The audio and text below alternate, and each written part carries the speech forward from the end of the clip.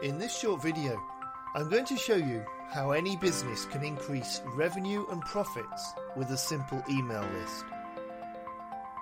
An email list of customers and potential customers can boost the sales and profits of any business because it is a highly targeted list that you can contact on a regular basis, month after month, at a very low cost.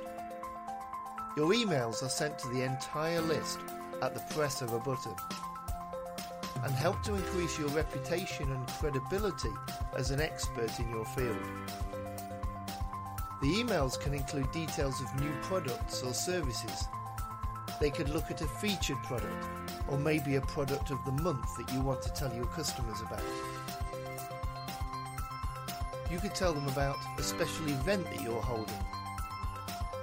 You could tell them the latest news about your company, your staff, and your products. All of these help to keep your business at the front of the customer's mind so that they always think of you before your competitors. Your email list can boost your profits in more direct ways too. You could send a special offer, a discount, or a coupon to your list.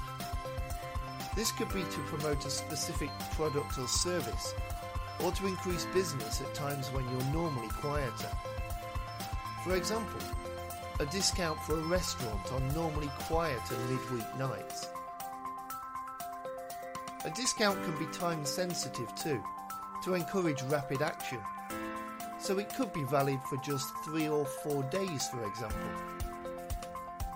As well as increasing your revenue, an email list can also help to reduce your expenses.